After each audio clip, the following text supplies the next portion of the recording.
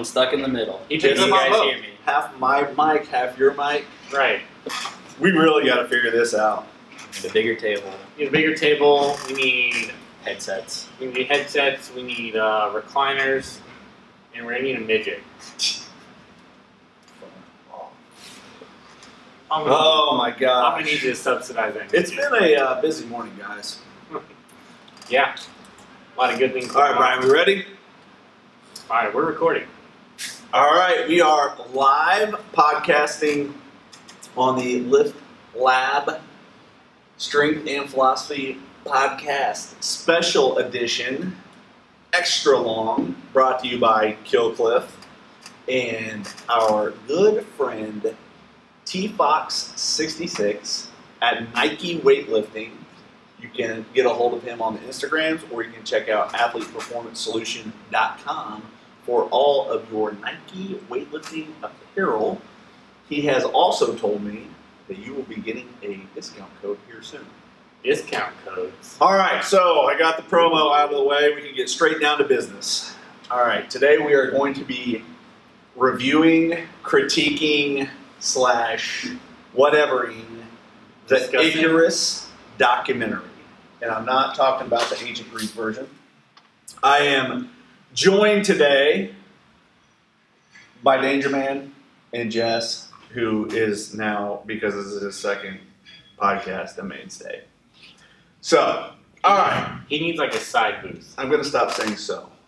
So basically, Here's what's on the docket. Um, when you start listening to a podcast, your attention has to automatically be captured within the first basically two minutes, or you're going to stop listening. And I am very fearful that with this in depth background I'm about to give, we might lose a viewer or two. You only got 30 seconds. I mean, I'm going fast. remember the seven minute muscle and fitness like Yeah. rant you went on? See, that was a good This one. is this is probably gonna be better. Uh, okay. So listen, All right. I have been waiting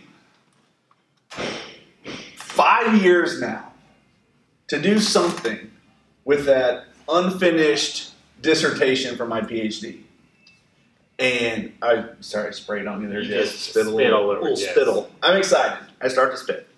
Um, and I had a dissertation that was a cross cultural analysis between Eastern Europe, i.e., Russia, China, and the United States, and the things that were going on socioeconomically, culturally, in their prospective countries at their time of Olympic sport prowess. Okay, so what was happening that was making them good, or what was happening that was making them bad? And just recently, um, oh, and the reason I never finished okay. Okay, the reason we're in an ABD phase, I think it's out of principle at this point. right? It is out of it, no, it's out of spite. It's out of Two spite. different things. okay. Um, the reason it is unfinished is because I spent thirty thousand words just trying to frame up, uh, basically cultural aspects of things that were going on before I could even get to uh, the actual sport and Olympics and shit that was that was uh, taking place in terms of wins and losses and medals and the whole thing. So it basically would have been a paper so like so incredibly focused that no one would read it. Yeah. Okay. and so incredibly long that it would it would have had to be a book, which isn't necessarily bad. It's just long. And my advisor was um, he was like, "Look, if you're gonna get out of here anytime soon, you're gonna have to change your topic or whittle it down or, or whatever." And I I was like, "Okay, you know, let me think about that." No, I'll just quit. so Whittle it down to. I'll, I'll whittle it down to I'm out of here. Um, and but this documentary just aired on Netflix called Icarus, and it was its goal was to expose uh, the doping scandal that occurred and led to the banishment of Russia from the 2016 Olympics. And what I want to do for you is I kind of want to give you a little bit broader perspective on what was going on. Okay, um, and I want to lay some background and talk about talk about the documentary from an artistic standpoint, um, and kind of give you know some critiques and things like that, as well as uh, bounce some ideas off Dan and Jess. I know specifically rowing was mentioned in the documentary. It was. Weightlifting demonstrated like this by Grigory was was in Gregory. yeah, and uh, football, which is So, you know actually soccer, as we say in American, um, was mentioned in it as well. So basically, we're gonna get to talk at some point. No, no, no, no, no, no, Okay. no, no. This is my thing. Don't take it from me. I This is this is I- your moment. well, I, I would like to just point out via YouTube that I told these guys to come prepared with notes. And as you can see, I'm holding this up on YouTube's. There's a lot of color and scribbling. That is notes. And the collective sum of these two guys' notes is nothing. All right. So one of us a week ago, when I was like, "Hey, this is what our podcast is going to be, be about. Make sure you do your homework, watch your movies. We whatever." watched it. Yeah. Which, which was the homework. I said take notes. You know, somebody's got to be prepared. And uh, anyway, they didn't listen. So let's get down to the business. And like anything, Dan, do you know the story of Icarus? Jess, do you know the story of Icarus? talking about the Greek mythology. About the the Greek mythology, which this film is named after. Do you uh, are you aware of kind of the ins and outs of it? Pretty much a father and son build wings out of wax to fly.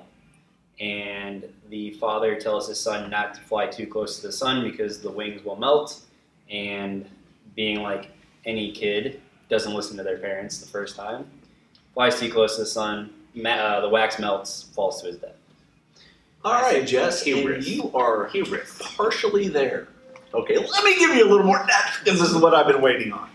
All right, so with the story of Icarus, everything that Jess told you is completely accurate. But what they were escaping was Icarus's father actually constructed the labyrinth, which was constructed to contain the Minotaur. Now, first point of interjection. The Minotaur, half man, half bull. We, there's got to be some gene doping in there, right? You don't just get that. Anyway, Yeah, I mean that's pretty lucky. yeah, Are we talking Labyrinth like the David Bowie movie from 1986? we will never mention David Bowie on this podcast. We already did. No, he's this done. Uh, but yes, and Jess, you are correct. His father warns him first of complacency, and then he warns him later of hubris. And obviously, hubris gets the best of him. Splat into the sea. You can either assume that he died on impact from such a height, or he drowned. Anyway, but I thought that was actually a really uh, clever title, It was just from a, an artistic very artistic. background. Okay, so let's. Glad I got to get that out of the way. I am so excited about this podcast. Check. Oh my gosh, we got to talk about gene doping, Icarus, hubris, Minotaurs. Minotaurs, David Bowie. David Bowie, and that's your first seven minutes of the podcast. Okay, now moving along, just getting into the X's and O's and the structure uh, of the documentary. We all agreed that the documentary was really two different things. Okay, so it starts out with Brian, who is the the producer of the uh, documentary, and it leads you to believe that the documentary is solely going to be about him beating a drug test. So they start framing it up with American voices, i.e., uh, Marion Jones, Lance Armstrong. I'm pretty sure some baseball guys on there talking about how they never tested positive and they never doped and Oprah and all kinds of shit, right? Uh, and Brian basically lays the, the groundwork for this grand experiment he's going to do to himself. Right. He's a cyclist. Right. And not a shitty one. And, and like not a bad one. He's and he's uh, trying to win a race in France. The Haute Route, right. The Haute Route. yeah, which is the hardest stages of the Tour de France combined in like one week. So he goes year one. Finishes 14th, Yeah, he I believe, yeah. which and- is pretty good. and just expresses how there are dudes that are just on another level than where he's at. They're just hammering it out, and he he first contacts um, Don Catlin Yeah, From the. LA lab. from the from the UCLA. Well, what used to be the WADA Laboratory. I'm not actually sure if that one's still going. It could be. I mean, probably not after this. Uh, Yeah, not after this documentary, but uh, Don kind of basically agrees to help him out, and his his uh, Brian's social experiment is basically can he dope and pass a WADA drug test. That's kind of what he sets out to do. Don basically gets cold feet on it, says, "You know what, Brian? I I love the fact that uh, you're trying to do this, but I can't help you out. However, I know somebody that may be able to help you out. The old referral network. Enter Gregory. I- Enter I do think it's important to note that Don did create many of the methods to catch people that dope. Yes. So again, if he taught Brian how to beat those, he would technically put himself in you know jeopardy. So that's why he gets cold feet. His reputation was on the line. yes, Um, so then this brings us into Gregory, and Gregory uh, is he is an interesting character to say the least. We'll talk about him later on as a man, as a person, just you know, let alone or sorry, um, irregardless of his actions and kind of some of the things that were that were interesting about him. Um, but he is. Dan, how would you describe him? He he describes himself as like the mastermind slash the mafia. At one point, he actually references himself as you know uh, a, a minister with some sort of salvation. Yeah, he's, he just seems like the mad scientist, right? Where he's just like in so deep, and like he believes so much, like like in what he's doing, and that like you know, like not what he's doing is wrong, but it just is his you know task that he must do. Sure.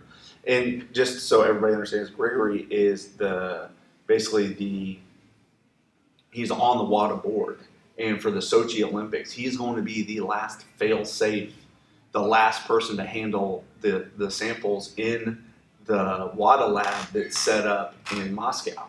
Okay, so he he would be the man. All right, and basically the documentary is going to show you about how Russia cheated the process. Okay. Um, well, let's go ahead and get into that first. So, just the X's and O of how how Russia cheated the process. Grigory was invited over to the U.S. by Don in the late 80s. Okay, and the U.S. did this as an invitation to kind of welcome the Soviets, ease the Cold War, and give them an idea of essentially like a friendly invite over to the U.S. to play how to test your athletes. And Russia was even able to bring some of their athletes over for some just experiments run out of the UCLA lab. So Grigory got to see how the lab was run, how they basically took the test, how they did the test, and he was also able to know without any consequence of these athletes that he selected which of them were doping. And this is like an interesting point in the documentary that doesn't really get brought out that much, but it gave him the opportunity to see if what he was doing was beating the test. he does mention at one point that he himself did um, do steroids because he himself was like an aspiring track star, and the only way to get to the national team was to inject. And he even talks about his mom injecting him. So that's kind of like where he started and got his, you know, love for sports and, you know, biochemistry, if you want to call it And that. absolutely. And I mean, there's a point in there where he talks about him uh, developing the test for the metabolites Mhm. once they were weren't able to de- clean de- clean samples of stanozol. Yes. Is that correct? Right. So he uh, developed a lot of the testing that uh, tests for the half life of those metabolites after you know, like a certain year when they stopped getting them from China, I believe. Yes. So that's that's Gregory's introduction basically to the U.S. and to how WADA uh, doping and testing is controlled for. And then he basically spends the next however many years, 89 until uh, 2015 or whatever, when they got busted, um, in Russia as the head of uh, head of their doping control. Okay, so he knows, and now he has an inside seat to everything that WADA is doing because he's a representative of WADA, right? He's essentially at the highest level, so he always knows what tests are coming and and how it's going to be done. This leads us kind of, if we're walking through the documentary, into his introduction to Brian. Okay, and they meet via Skype, in which Gregory or Grigory, sorry, is getting fucked by his dogs. Okay, and that enters that enters into the character that is Gregory, and the man is absolutely hilarious. I don't know if it's just because he's into doping, if he's into testes and what they produce and whatnot, but every dog that he comes in contact with licks his toes and humps his leg, and that's like a pretty a pretty constant throughout the documentary. and he loves it. And he thinks And he's he a just thinks if that dog has nuts, it's the best thing ever. he is a huge dog lover. Um, so when he when he meets with Brian, he basically is going to sit down and set up a doping schedule, and they don't get into all the ins and outs of how it's procured, um, what they're doing, and so I wanted to lay some of that out for you. First of all, Brian got his drugs from a with a prescription from an anti-aging doctor in the U.S. or uh, yes, in the U.S. Uh, do we ever know he was from L.A. right? Yes. He was yes. And so we can we will just make wild assumptions here that these kind of places exist all over LA. I don't know if they do or not. Um, but the the doctor is giving him uh, HCG test and eventually EPO. Um, and those are basically the, the banned substances that are going to help Brian train day after day. It's going to help with his oxygen uptake. And I believe, I, I I don't 100% know this, but the HGC is more or less for his, to keep his um, normal testicular production up, i.e., so he can have kids, per se, if he wanted to. Am I correct on this, Jess? I would assume so. You're one of the young guys in the, in the know. Um, So, you know, like big thing to point out is like this is a systematic doping, Correct. right? So, like when we talk about systematic doping, this is on a schedule. You have a regimen of uh, drugs you take. It is, you know, like he takes like a few cc's a day total, yes. right? It's Yes. not the guy who injects, you know, 20 cc's into his leg and wonders why he has a hole in his leg all of a sudden, right? That is not systematic doping. Well, so they're doing it for two reasons. Um, in the documentary, there, there, there's a lot of frozen piss in the documentary. There, okay, so Brian is taking these microdoses. He's taking small injections every day of testosterone and uh, ACG. Like I said, eventually EPO, and all along the course of him doping, he's taking urine samples. And the whole point of those urine samples is not to prove whether or not he was doping. Obviously, we know that he's doping. Is to test the levels of the metabolites that's in his urine. Okay, so if they know, if they know um, the level of metabolites, they can know how many days they would have to stop doping before an event to actually pass the test. Okay, so what they're what they're rolling the dice on is that uh, RUSADA, uh, which is the Russia's version of USADA, it's just the Russian anti-doping agency versus the U.S. anti-doping agency, uh, is not going to test them when they are out of competition. This is a stark difference from what goes on in the U.S. Very. Okay, um, and so if it calls into play two things.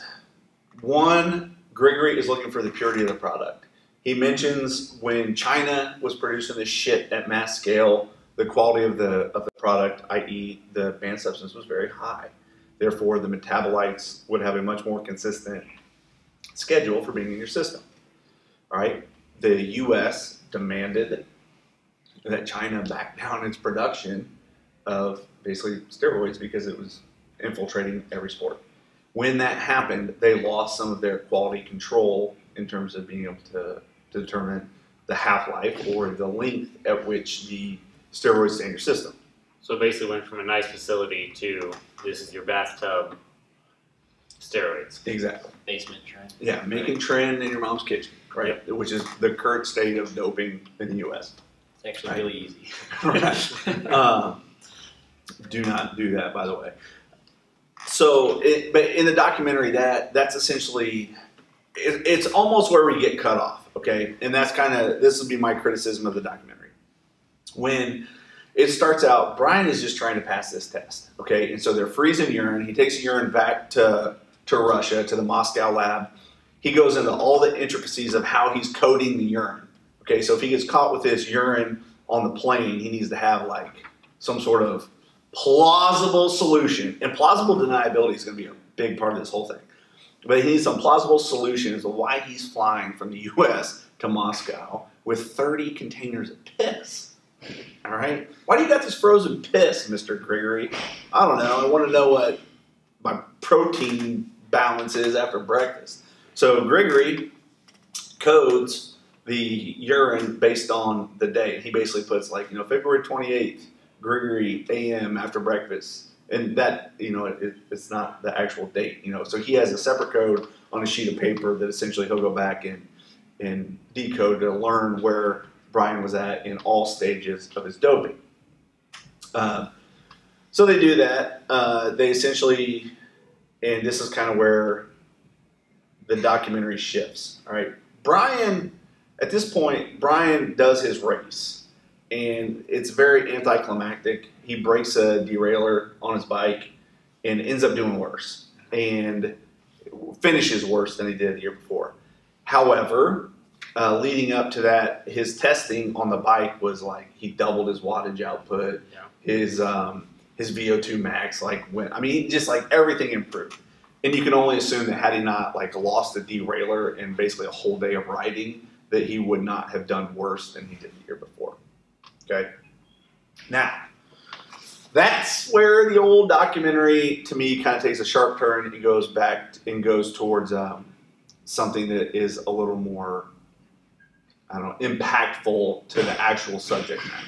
Yeah, Right. and I think a big point to note is that when he gets to that first year, like basically, like you know, he's like in a bad spot, but gets kind of reassured that he's going to, he's like really going to go through another year or two before he really sees a result.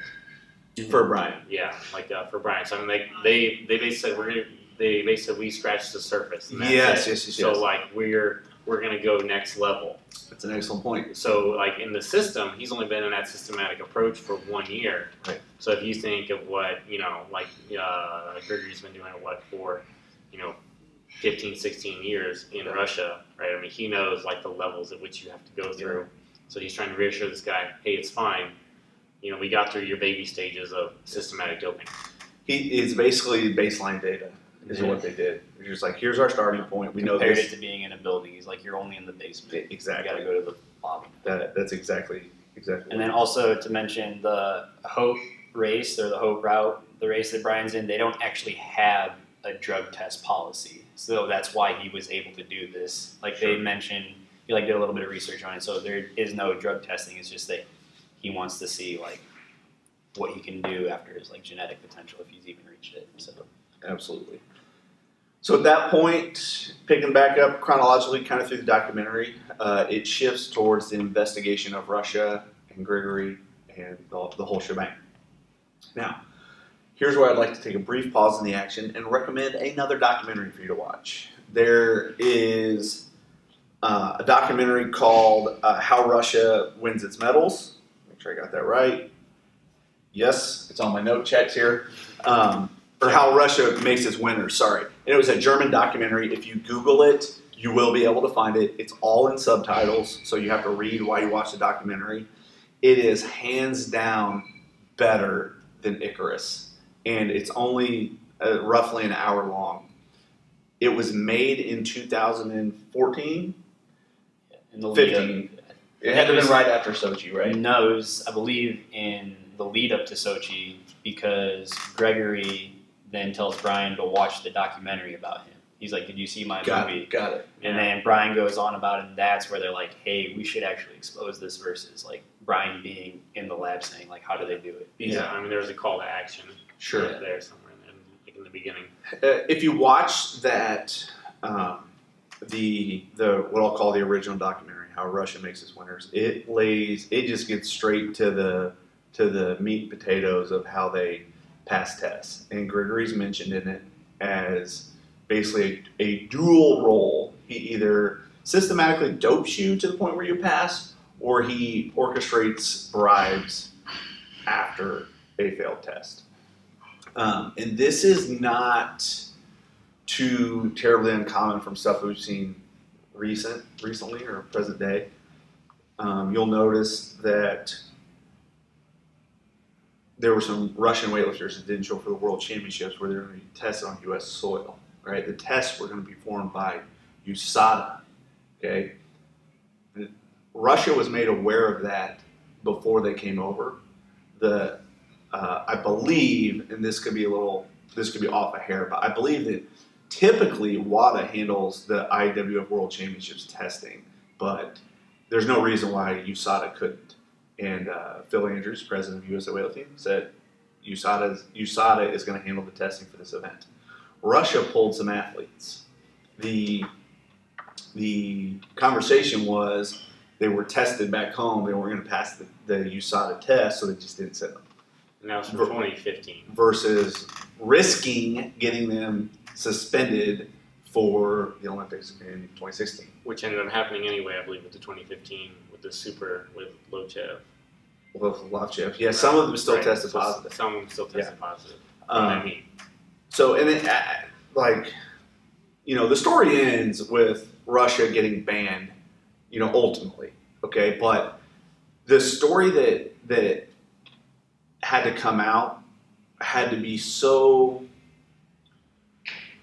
It's hard to say beyond reasonable doubt because one of the main themes of the whole documentary and all of doping in general is this like idea of plausible deniability, okay?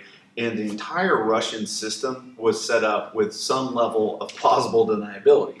Okay, Lance Armstrong, in the very beginning of Icarus, and you know he's just famously said with uh, extraordinary accusation or extraordinary accusations must be backed by extraordinary proof. Right, so there's kind of like in this doping world, always like a smoke screen being set up to, you know, hide what's being done. Okay, so a level of plausible deniability would be why would the head of WADA cheat, right? Or you know, something like that. Well, you know, because he was given six hundred thousand dollars, like you know, that's why. So there's always like a level of plausible deniability coming out of Russia, and that's one of the things that like Gregory gets into um, pretty thoroughly. And he talks about cheating and whether or not he's like once you once you start lying, you can't just tell half a lie. You got to tell the whole lie. I think he calls like fifty percent lie or something like that.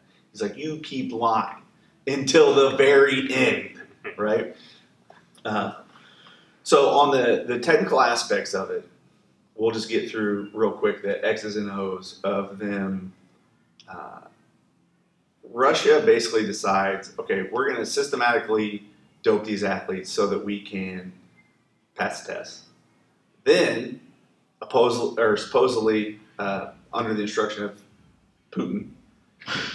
Fuck that. Right? We're just We're just gonna dope. we're just gonna And we're gonna dope through the damn games, and we're just gonna send the KGB, and we're gonna destroy piss. Now, it's if you say it like out loud, it's amazing. Like how much attention is placed on people's piss?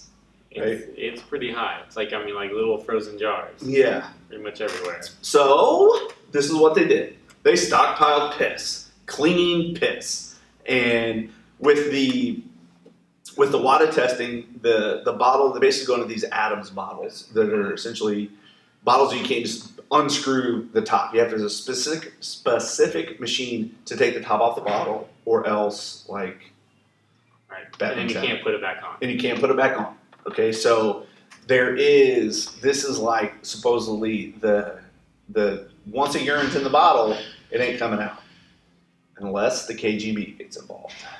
And what they did was Grigory had to stay late in the lab, and he had obviously the highest access to the lab in Russia because you know that's his home. On the compound where the lab was, they had a building that was staffed or it's manned by the KGB. And after everyone had left, the Russian athletes who they knew were going to test dirty, KGB guy would sneak over fresh Adams bottles and uh, fresh piss. They basically would take the or unscrew the tops with some machine, dump the piss down the drain, Put the clean piss. swish it around, wash it out, clean piss in. Okay, so they never actually tested positive because they probably got the piss from you know a school teacher down the road or, or some other some other aspect like that. So that was that was actually how they passed the test. It wasn't something where they like they beat it with a systematic with a systematic like microdosing approach. They just used clean piss. Okay. Now compare that to what Lance Armstrong did. How did Lance Armstrong pass so many doping allegations and so many doping tests? Well, because Lance Armstrong with EPO, they tested with blood. Lance Armstrong had an RV traveling with him in the Alps. Okay. When he was going to get tested, they stalled. He locked himself in that RV. He had a guy on staff that would do a blood transfusion. Not risky at all. Right. On the risk scale of 1 to 10, 10 being dumb, it scored a 20. Right? Like, let's see if we can just just switch out your blood real quick. You know, in an RV, in the Alps, in 10 minutes. Think you can do that, Lance? Yeah. The amazing part is he would go race. like, anyway. So You got that fresh blood in there. yeah, exactly. So there's there's always like two trains of thoughts when you're talking about doping. Are you actually are you systematically there, there's three trains of thought. Are you systematically doping to schedule yourself to use your clean urine on the day you actually test in the cup? Okay, that would be the microdosing that we saw at the beginning of the documentary with Gregory. Um, are you destroying evidence, i.e., Lance Armstrong blood transfusion or KGB piss running scenario. Or you do it the old fashioned way where you just take a stack of money to somebody and say, This never happened. It was all a bad dream. Slash threaten somebody that, you know, yeah. some sort of crime. Yes. So there is the like the, that's the basic ins and outs of Icarus and the basic X's and O's of the documentary. Um, now, let's get to the good shit. Okay, so that's 30 minutes of framework, followed by the next six hours of discussion. Dan, I'll start with you. Okay. And at any point you realize we left something out in terms of the tactics and the doping, feel free, stop, you know, hop right back in. But do you like Grigory? I love him. Like that dude is just a character. It's like the the like number one the personality of him. He just like the insane sort of like yeah like we're already over here. This is what we're doing to pass the test. Like I'm a total like cheater and just like not just like no just like there is no hiding it. Right? He's not trying to be shady. He's not trying to lie to your face. Like unless you're like the authority. He's just he's just very upfront with Brian and he's very honest with Brian. And, and I think that's probably like the most like uh, redeeming quality about him. It's like there is there is no hiding, and like he he is he's basically a mastermind, and like he has fun with it. And like to think like somebody at that level who's doing that level of uh, cheating is having fun and like like loving the process is just kind of an insane thing to think. Absolutely. It's nuts. Jess, your personal thoughts on Gregory? You want him dead? No, I think I think it's great. I think I agree with everything that Dan says, and his like he- Dan said, his upfront, you know, personality is like his redeeming quality. He lets people know right away, like, hey, you know, this is what we're gonna do. This is what could happen. But at the same time, like, it's all on you at the end of the day. Like, he actually, you know, asked Brian several times, like, are you sure you want to go through with this? He doesn't just say like, oh yes, you know, let me take the reins and take control. But at the same time, like you know, Brian does have the support staff he's working with. You know, the guy that he's getting um, the testosterone replacement from. He's working with an exercise physiologist. Both those guys think Gregory's crazy, but at the same time, like when Gregory, when they meet Gregory, they're like, oh, this guy's like pretty upfront. He's not gonna like do you harm. It's just a matter of like, all right, you know, what's the ethical problems when it comes to cheating? Exactly. It's in, it's interesting to see that even the like the like the Americans that are involved in WADA um, and USADA, they really like Gregory. But They think he's questionable because again, Right, they're like- like And they're like, oh, you know what? We don't want to say any bad shit about him, so you're just gonna have to talk to him yourself, right? And to me, that's a sign that they really they really do like him and respect him to some to, to a large degree, actually. Um, he's obviously a, a very intelligent person. I think that one thing that was really interesting for Gregory was throughout the documentary, and this has to be Brian, the guy making the film, could not have known this prior to meeting him. But Gregory reference, references George Orwell's book, 1984, a handful of times. And in that book, first of all, the book was banned from Russia. All right, like the no fly zone, it was a no read zone. Like you read this thing, KGB's cutting off your hands. Okay, now it's no longer banned. But for those of you that haven't haven't read it, it is basically uh, the setting is a dystopia. Okay, so uh, the original book titled Utopia was written a, a long time ago. I want to say 15, 1600s, and the actual um, I believe like the Latin meaning it was something like land that doesn't exist or some shit like that. So the dystopia is kind of the opposite of what we think of it when we use the word utopia. And there are three mega states represented represented. Represented. There's three of them. Okay. Um, We got six there's hours left. yeah, only six more. I better better. tight. Uh, so anyway, the three states represented Eastasia. Can you imagine who that reflects? no. China. Okay. Eurasia. Good guess. Can you imagine who that reflects? Russia. Ding, ding, ding, ding, ding, ding, ding. Dramatic Uh, pause. Yeah. and Oceania. Can you imagine who that reflects? The United States. Correct.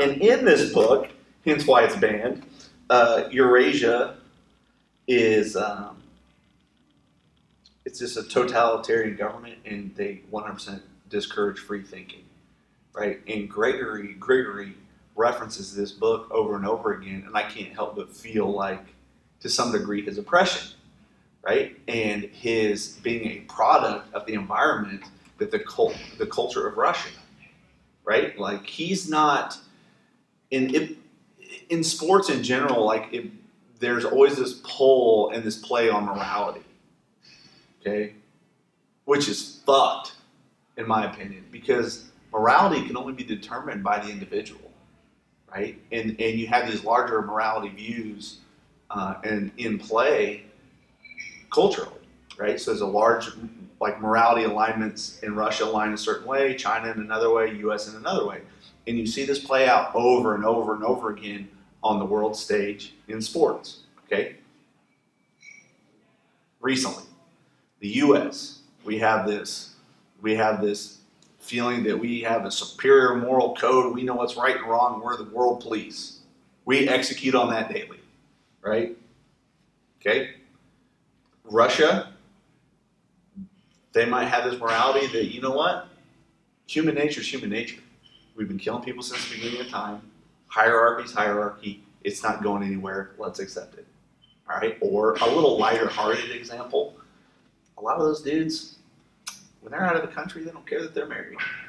Right? And it's and it's it's culturally acceptable. And I've heard this and witnessed it on more than one occasion. Right?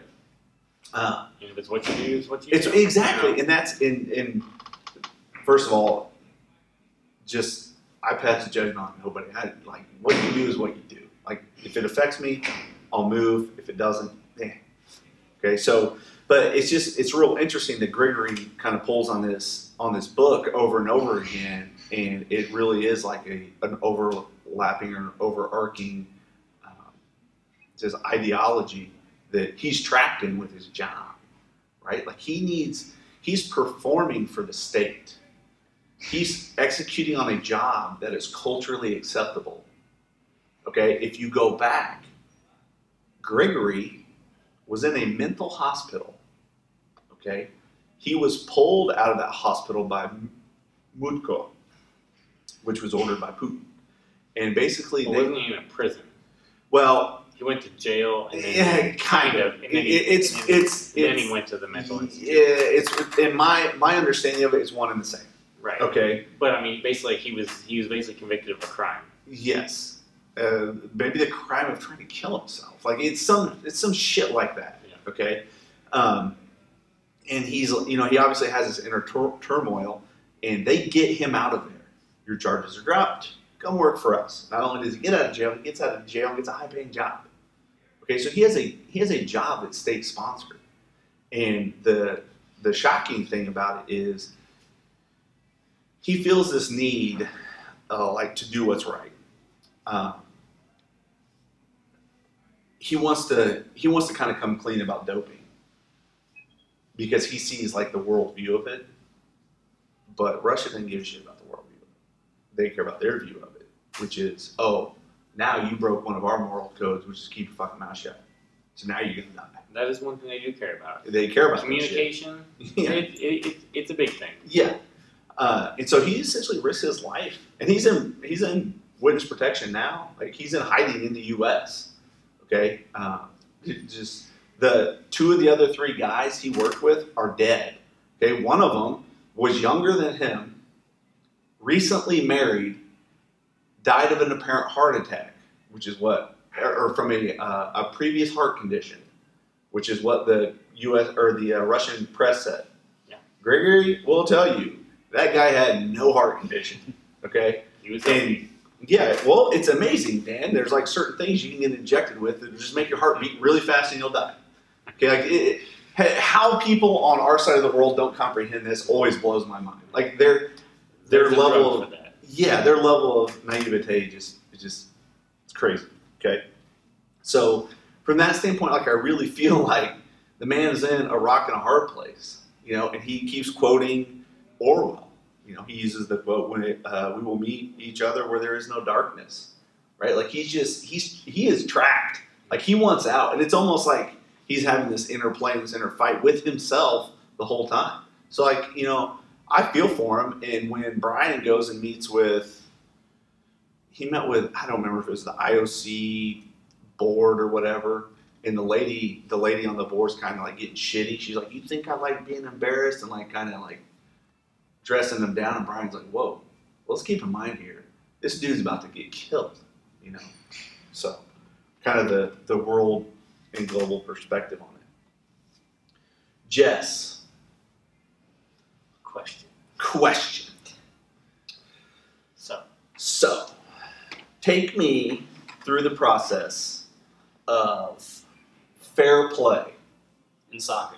in soccer. All right. So, essentially, the idea of fair play is that if your team commits a foul or does something that undermines like the quote unquote spirit of the games or the other team, um, you're supposed to let the other team, um, you know, start off where they left off. So a good example is let's say um, someone someone scores, or let's say someone gets tackled, and the ref doesn't call um, call the foul, but the team knows that it was a pretty malicious tackle that um, it might have stopped like a counter attack, and the referee totally missed it.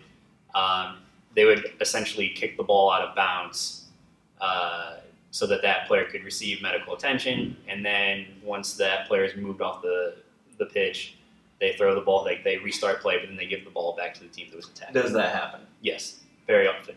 Okay. Sometimes it doesn't, and you'll definitely hear the jeers and the crowd will So, get, get mad, but 90% of the time it does happen. so is there a code amongst the thieves? These things are acceptable. These things are not. Yes, I, I think it's pretty, like, I mean, you grow up watching it and uh, you see it at the professional level, but then it's something that's kind of just instilled as you play, where, like, the coach, your coach might say, hey, you know, give the ball back to the other team. They, you know, stop their advance because one of our players was seriously injured. Therefore, they deserve the ball. So usually, what'll happen is if you're if one team's in the attacking third and someone gets injured on a play and it's like a pretty horrific injury where like medical staff needs to come out, that team that's on the attack will kick the ball out of bounds in the other team's defensive third, and then that team will then kick the ball back to the attacking team in their defensive third. So, So let me ask you this, Jess: If you were you, you were a junior world USA soccer player, whatever, right? You kick the ball around a lot. Mhm. You're a young man. You're trying to make the U.S. national team. The you guys go over and play old Russia in a friendly, as they say. I think they, they say that soccer, don't yes, they? And those dudes are just shoving. Well, he played goalie. They're kicking the ball so hard it's blowing your arm off and going in the net. Yeah, some some extreme example. Basically, they're kicking the shit out of you, and you suspect you suspect it's it's uh, based on doping. Does that really impact your future? I don't think so. I mean, that's that's a tough question because if let's say you've already made it to the pinnacle of your career, right? Let's say you're you made the national team and that's like the highlight of your career because you know that winning like a championship is a team sport versus an individual sport.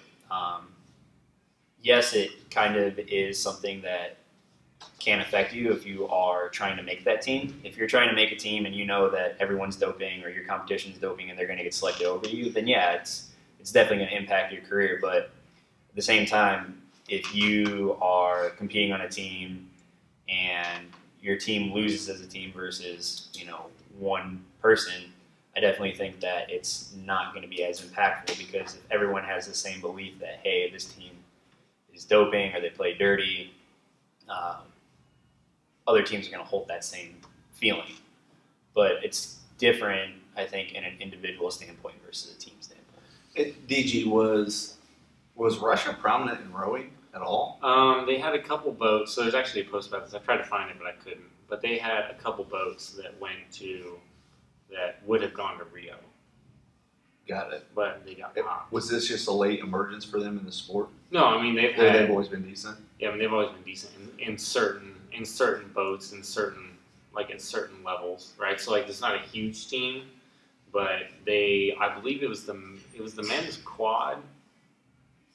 I I believe it was the men's quad or the men's no no it's definitely the men's quad that I believe was they actually qualified at one of the World Cups leading up to Rio or or no sorry so Russia qualified over the U.S right? And then those athletes were part of the part of the doping program, and they banned Russia, but they did not. But I believe they did not bump the U.S. into the qualifying They spot. just took somebody out and put somebody in.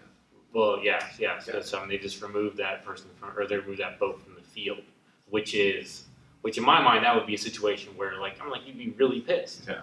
You'd be extremely pissed because on that day, like, you know, like with all the factors involved, right, in terms of, you know, like you racing and like the weather, the water, you know, like on that day, you were beat by somebody with a uh, physical edge that was not allowed, like, you know, like at that level. Yeah. So, you know, like and like they tested and like they tested positive and it was more than one guy in the boat. So I you know, it's not a you know, It's that's not a fair. one off. Right, right. And I and I think probably for for sports that are more team based that are less that have a higher that have a Probability. higher uh, probability of, or like have a higher skill level as a team as far as like a strategy right? So like in like maybe maybe in soccer like it's like maybe like in shooting or archery right? Like you know like if like like if you take drugs and your muscles are stronger like you're gonna squeeze the trigger harder. Right. like Right. you know there are things Well- that are less they're probably less prominent but maybe it's something like a biathlon of course. You, you know you would see that. Um, but in uh, like a team sport with a high amount of skill and like a situational problem, like you're not gonna like it's probably harder to spot than in a than the weightlifting, Right. right? In a rowing, in, in like a running, like any sort of running or athletic event, or like uh, throws is a big one that I think people probably point out Yeah. the most besides weightlifting because you're like I mean there is a high level of skill involved, but the raw power output For is sure. probably a bigger index in that total equation. Yeah, I think that's pretty. That's a great point. I mean, if you look at the sports that they did really well at, they noti- noticeably doped. You know, things that could be affected by large amounts of strength and endurance, i.e., the longer distance road races, Cycling. cycling, running, probably the longer rowing Bobsled. racing. Bobsled, which is a high sprint power output. Um, Driver But- doesn't want to be that big. yeah, It's just- weightlifting, obviously. Um, but because I, I thought about from this, the same aspect, but I was like, okay, would a gymnast really benefit, like really benefit from doing drugs? There's such a high skill component to it. I don't know that they would. One thing that I wanted to throw out there, I thought was really interesting.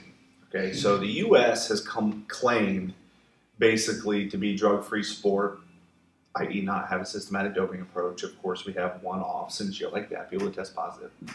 Um, and there had been Kendrick Farris, just to name names, had claimed that if the rest of the world was clean, he would be a top so and so finisher. And he always claimed that if he could add 20% to his lifts, he would be a world contender.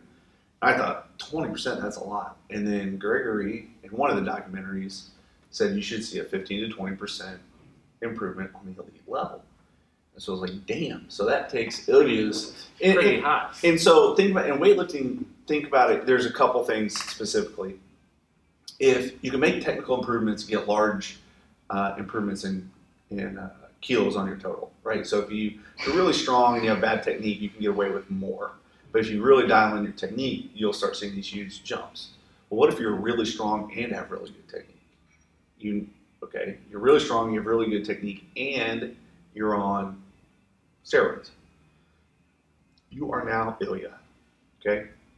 A 20% increase on Ilya takes his 242 down to 220 something, right? Yeah. Which is a good lift. which is which is you know for that like for that class it's pretty Right, pretty uh, competitive, right. but it's not the best. It is not a 242, right? And Or think about it. When, I don't remember what Kendrick's uh, best lifts were in as an 85, but let's say as a 94, he did like a 212. Okay, and then let's say that the the you know, and I'm talking clean and jerk here, but let's say that you know the tops in there are 220. I mean that puts him like basically what I'm saying is that puts him within striking distance of the legit top in the world. Okay, and obviously Kendrick's top in the world. He's you know got invited to the Olympics three damn times. I mean that's top in the world, but we're talking like the, the upper upper upper upper echelon, the medal contenders the Olympics. Well, you know, like you know, like uh, Brian kind of pointed out, right? There were the guys that were there, Yeah, and then there were like five to six guys that were on that next level. Yeah. So it's like, how do you, how do you become one of those, you know, five to six guys? for sure. And actually, uh, Paige and I were talking about this earlier with uh, Glenna that you know you look at like Big Toddy, she snatches 150, and it's like she's a great example of someone that like has good technique, is strong, and then is probably also on something. So it's like you know just taking the drugs alone aren't going to get you a gold medal. It's like you still have to be. Absolutely. They always make that joke. It's like you know hard work mm. always always beats talent when talent doesn't work hard. But it's like you know when talent works hard and is juiced up. It's, It's tough to like- beat. yeah, it's Yeah, almost it's untouchable. Pretty damn hard to beat. Yeah. Well, and, and I think that to allude to an earlier point that Gregory made in the documentary that you know is probably not getting discussed, and this goes back to to when he was talking to Brian. First of all, he made a wonderful quote, wonderful quote. Um, oh my gosh! And of course, I can't can't repeat it verbatim, but he, uh, I know I wrote it down here somewhere. Somewhere he was um, said like, uh, like you're you're now haunted by your ideas, right? Because he has this idea that he can take his like performance to the next level with these drugs. Um, So it's going to torment him. exactly, Until he does. exactly, dude. That's why I really like Gregory's a deep dude. Like I, I really He's that that that dude was dropping like some some legit one liners in there. You know I love one liners. yeah, but, Uh. but I mean, like, he's he's been in that lab for 15 years, Longer than that. right? 15, 20 years. 84, 85? Okay, so 20, 26 years. Yeah. right? Yeah. Roughly, and and he's been basically testing piss. You Yeah. gotta read some books or something. right. I'm like, One's you in a band. like I'm like you got to have some thoughts Yeah. while you're sitting in there in the lab and you're testing piss and you're trying to like figure out the ultimate. Basically, you're trying to figure out like the ultimate solution to Human physiology. right. Yeah, like just somebody passing the test. Like I feel like Brian's like physiologist, right? He has a great like physiologist to help him, but like. You know, like if that guy's not used to working with people that are doping, it's like he's just like, yeah, just keep going, Right. just keep going faster, let's do more, right? It's like, like that's a scenario where you would have to be in that situation for like twenty something years to really learn like how much can you exactly push somebody, you know, when they're in that situation and like based on their dosage. Like that's some serious thought, some serious science. So that's what I was going to go back to. I the, about the the talent and working hard thing. It's not only just uh, you know Big Toddy, for example. Not only is she training hard, working hard, mastering her technique, but she's been in that systematic approach for years. Okay, so if you and again, I, another thing that I thought was neat was the dosages and stuff that Brian were doing were not like bodybuilding.com forum Right. dosages of like it was very low. Like, you know, but it was a systematic approach. right? exactly. Like so you're not the bros that are hitting up the, you know, give me like three CCs in a shot, No. and then more is better. No, and, and I think this this also goes into like um, the Russian culture and understanding of things. Like they didn't have Mark McGwire belting home runs and this like huge negative connotation that comes with steroid use. They just had it as an acceptable part of sport. There's no secrets in it. Like they all know that they all are doing it, right? and they have it constructed in their mind where it's not a moral they're obligated morally to do it to win a medal for the motherland right They, I mean, that's a great sense of pride for them. a hundred percent. I'm not saying you have to agree or accept doping or cheating. I'm just asking that you understand their perspective right? And then also understand the perspective of fear okay? And this is this is coming from the state department. This is coming from putin now okay? So mutko who is their minister of sport gregory says is a kgb man okay? And for those of you that don't know what the kgb is was okay it's now called the fbs not the FSB. FSB, not the football bowl system. Um, the FSB, and basically it's a it's basically so I had to like I didn't want to misspeak, so I I researched this the best that I could, and my understanding is it's somewhere between the CIA, special forces, and the mafia, right? They essentially are are not punishable for the things that they do. They operate in the shadows and at a very high level. Sometimes in the shadows, I guess I should say. A lot of times they want themselves to be known because it's a threat. So if you go to work, like think if the structure were to change in in uh, at the USOC, and all of a sudden, I'll use him for an example because he's popular and people know or knew of him. Let- Let's say that Al Capone or somebody more recent, John Gotti, is now the head of the USOC. All right, and John Gotti is going to recruit like the Sopranos cast as the the uh, the USA weightlifting director, the USA rowing director, the USA track and field director, and that message gets carried on for years and since before the 80s and years and years and years. So generations are born into it. Well, what is their outlook on sport? It's not the same as people in the U.S. that are like, let's have fair play, right? It's different. It's also a matter of life and death, They will kill you. and it's also a matter of getting paid. So one thing that they uh, they didn't show, again, we're still talking about piss, all right? Um, in the basically Icarus is Wayne's World two, and How Russia Makes Winners is Wayne's World one. Okay, and I strongly suggest you YouTube How Russia Makes Winners German documentary just to find it or whatever. If you haven't seen Wayne's World, Yeah, go see Wayne's World one. pause and go do it right Yeah, now. dude, watch Wayne's World one, then follow it up with Russia, How Russia Makes Winners.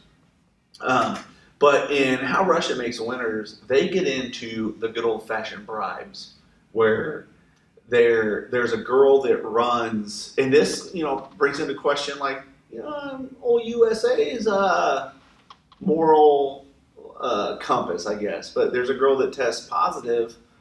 Um, I'm not sure if it was WADA or USADA. I'm going to assume it's WADA test at the Chicago Marathon where this Russian chick won it, and then she won. She won the one at the Track and Field Worlds as well, and she tested positive. And basically, uh, they notified her via letter, and they said, "Guess what? All this can go away at the low, low, low cost of 150,000 euros." Okay, now what does she do? Wires them the money. Okay? A few months go by, they tell her sleep easy at night. You know, that's her big thing. Don't stress about this. Call her up. We got a problem. You've uh, somebody else has a hold of this positive test, but we can make it go away. So, and they pay it again to the point of this couple had shelled out six hundred thousand dollars get positive test to go away. Okay, so then this is what I love the most. She gets suspended after spending six hundred grand to make this not to mm-hmm. make this go away. Okay, so as you can imagine, she's a little pissed. She wants her money back. Yeah. And the it's really hard when you no matter what you do. Like a good friend of mine once said, he, he helped me out when I was in a little bit of a sticky spot. And he said, We're not going to go into How sticky? any. Yeah. How sticky? It, it was some dirt. Anyway, he said, Hey, it's pretty hard to get your money back once you give it to the hooker. Okay? And that's exactly what happened to this girl. Mutko and the boys said, Stick it. You got a problem taking over that KGB guy over there. He'll help you get your money back. So actually, to appease her, and only my my uh, only because she kept electronic transaction records, uh, they refunded her about half of her money. So she essentially paid three hundred thousand dollars to test positive, right? Um, but uh, the point that I thought this illustrated more than anything was how much money this chick made running track. she can pay out six hundred grand in bribes. Like that- that's amazing. That's a lot of money. But I mean, if you're the, but I'm like, if you're winning medals for Russia, right? I'm like, you're a celebrity in that country. For sure. You know, it's like wasn't like uh, like I think like there was a time where Klokov was on like a like some sort of like Russian like game show, Dancing with the Stars type Probably. of thing, right? Probably. You know, like he Doing won a couple Klokov medals, things. right? Yeah, you know, being We'll a be on super TV. jack, It was, a, it was a diving contest of some sort, right? right, a diving. yeah, contest, Brian, right? Brian's green. You dive into a pool. And Yeah. uh, but well, so their and their state sponsor structure is such that once you make a national team, you get a, you get basically a, a set money for the rest of your life in a pension. Okay, so you're going to get X Y Z amount of money while you're competing. Um, you're going to get bonuses and shit if you win, and in a lot of instances, they'll they'll give you a house or something like that. And I didn't really understand the um, the implications of owning a home in Russia. Apparently, you it's not like here at the U.S. where you just go get a mortgage. This shit's all owned by the state. So basically, it'd be, it'd be like basically Donald Donald Trump now owns you know your mortgage. Yeah, good luck. Okay. The, the guy at the top that makes all the rules, he also gets to tell you how much you're going to pay a month. And if he wants you to live there, if he doesn't want you to live there, he's going to tell you where to move. Okay, so So it's But- not really your house. no, no, no, not at all. But some of these guys get houses and cars and shit like that and make a really nice life uh, for themselves. The other thing that I thought was uh, was interesting the the how Russia makes winners documentary. Well, first of all, in that, God, not to take a total detour here, but that movie is basically about a guy that's working for Rusada. He falls in love with an 800 meter runner who's just kicking ass all over the course, and uh, they fall in love. Ultimately, get married, and then she's like, "Hey, you want to know how I was so good? All those tests you gave me, I just cheated right by them." You know, it's like it's like the master of deceit, right? Uh, and so this guy's like, "How?" And then she lays it out for him. Basically, you're just a pawn collecting a, a cup of my piss, and you have no say in this whatsoever. Once again, Yes. centered around kids. This is all. It's amazing. Like all this money is exchanging hands for about mm, ounce and a half, two ounces of piss. I give you two ounces of piss right now. Mm, two ounces of piss later. Like how much is it worth? Uh, so like the like the, that level of finances changing hands extremely high in other countries, and I thought surely if this much money is exchanging hands, like their their national, their like Russian national championships, those stadiums must be sold out. And then I looked, and they're not. I, I would venture to say U.S. track and field has more people attending their national championships than Russia. At college level. But but what is different? I believe Russia puts it on TV, Yeah, too. not and As not a- like the like- Ocho on. I'm not talking like you know It's on Eurosport. Russian Sports One. It's on the channel that they are putting in your living room and forcing you to watch. Right? It's on that channel. It's on channel one out of six. Yeah, The other five are blacked out. You know. you watch. Uh, you, You you, watch. watch this. Uh, so, but the the amount of money, and then so you're like, okay, well, why would or how would you know the, these level of bribes occur? Okay, so if you have money circulating that's at that high dollar amounts, all right, then there's they're going to happen one of two ways. The dollar amount's just going to be so damn high that somebody's going to take it. Okay, so look, we all want to uh, pretend we have this great moral compass. But if I'm, you know, living off the government salary of sixty thousand dollars a year, working for WADA, and just running cups of piss all around, and this athlete comes to me and says, "Hey, let me swap out a clean cup of piss. I'll give you two hundred grand in cash. Our little secret." It's gonna be hard to say no, right? And the other thing that really impresses me about Russian bribery is the amount of follow through. Like these dudes pay. Like they are money is exchanging hands. This is not like haha I got you and then the KGB guy comes and kills you. That's not that later.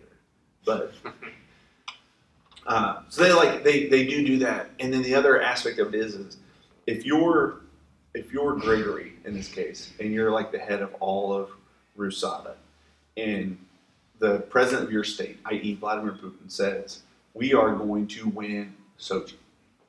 We are going to drug and dope as hardcore as we can. You know that you are the last bastion between that goal and, and making President Putin happy. And there's two, three, four, five, six, however many KGB guys who've been standing outside of your laboratory door for a month on end, just scowling at you. You'd be pretty highly motivated to make sure that you follow through on those goals. You're gonna do what they say. Absolutely. That's basically. There's no other choice. Yeah. And Or there's no. And Russia seems to operate on this this notion that it's all around plausible deniability, but it's not what you know, it's what you can prove. And they do just enough to make you think, "Ah, maybe not. Like, you, and because you're good natured, and you're human, you kind of want to believe them, right? Maybe they're not state sponsored doping. Why would the director of sport ministry cheat? Well, I didn't know the director of sport ministry was a KGB guy, right? I mean, it's like once you start piecing it together, you see all the like links in the chain of success and like where it could be infiltrated to be, you know, corrupt and things like that. And it turns out they all are.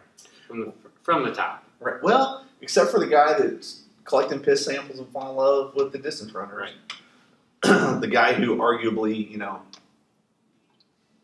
in any good crime, the guy, the guy that always like blows the cover or rats him out is the guy that they didn't pay enough to, right? The, the guy collecting the piss, the cup of piss needed more money. Let's just be that's what it is, right? If you're gonna if you're gonna bribe him, bribe him. Don't skimp, right? I can use some real disturbing analogies right now, but I won't. Moving, moving on. Moving on. So, Moving on. Jess, what other thoughts, comments, questions, or concerns you have? No? Much. None? Did we cover thoroughly the Icarus documentary? I think we covered everything. The only question I think that remains is like, what, what now? What now? Oh, I know what we didn't cover.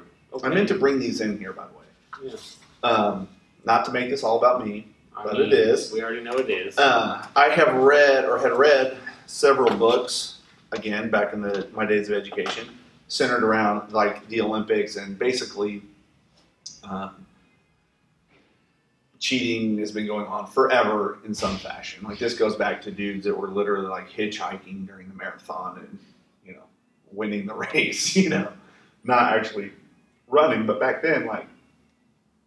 Who wanted to watch somebody run 26 miles? Nobody. no one. Well, Yeah. you couldn't because the cameras couldn't keep up. Well, and and there wasn't TV, right? But, uh, I'm not sure electricity was around. Uh, so anyway, there's this guy, and he's mentioned in the documentary, and I, I have read uh, one of his books, but his name was Richard Pound. He goes by Dick, so let's just get it out there. Dick Pound, that is his actual name. He is a Canadian swimmer. I'm at one point he was the head of WADA. I don't know if he still is or what that relationship is. I, I didn't look into it for this, but um, basically he's asked the same question, and he's written about this in his books of if there's corruption on the WADA level, right?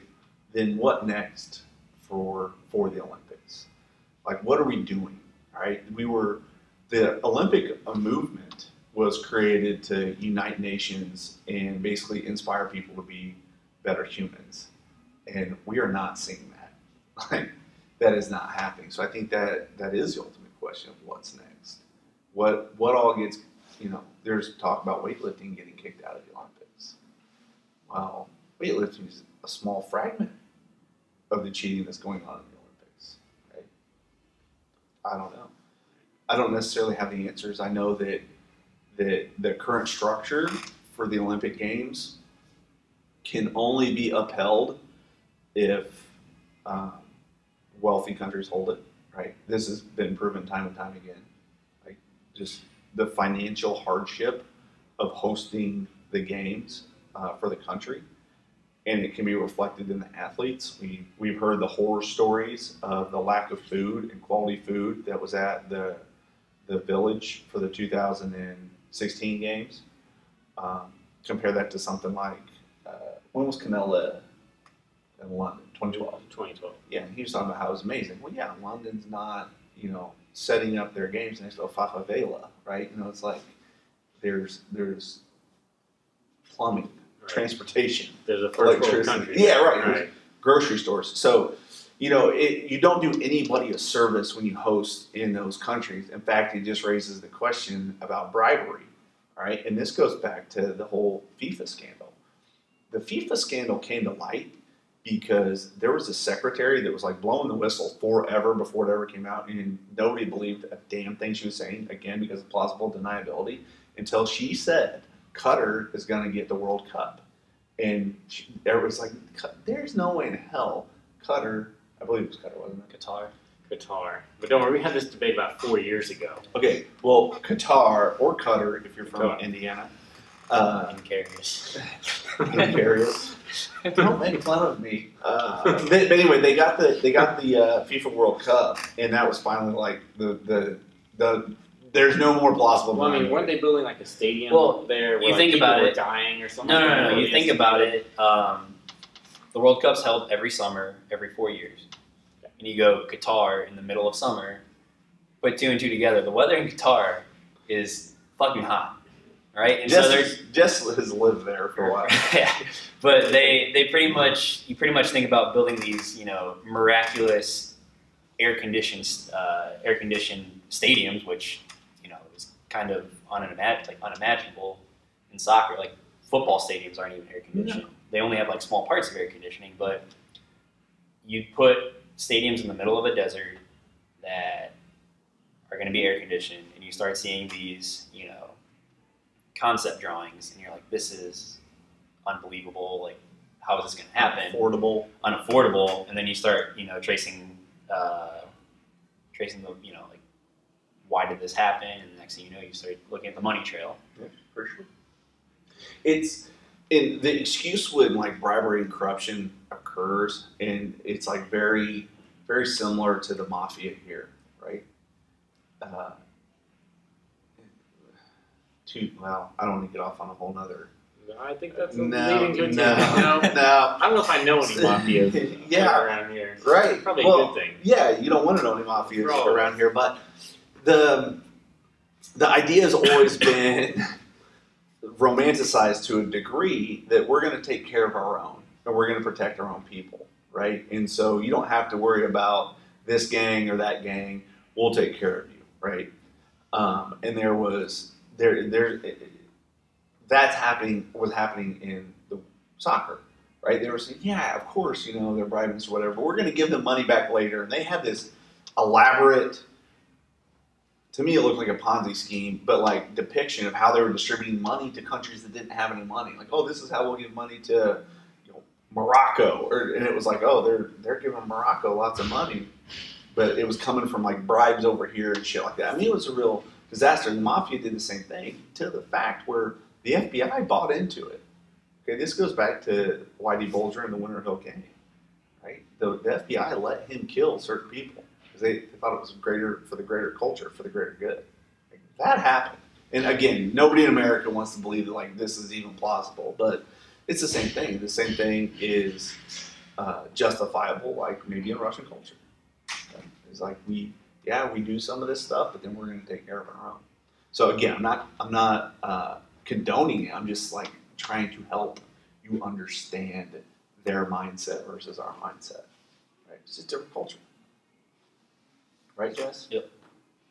Like the Indian food you eat. That's different. It's not a pizza or a hamburger. All right, gang. I think we have successfully talked this thing to death. That's the best point you've made all day, Dan. Not a pizza, not a hamburger. Nope. Um, do yourselves a favor. Watch that documentary I recommended. Watch both of them. Watch both of them. I- Icarus is good. Oh, Too. I, I gotta give uh, I gotta give it credit too on the cinematic production of Icarus is top notch. Like it's it's very good. The when you watch the one on how Russia makes its champions or makes its winners, it's like shot on an iPhone four and uploaded to YouTube. Right? I mean, there's there's a different standard of quality.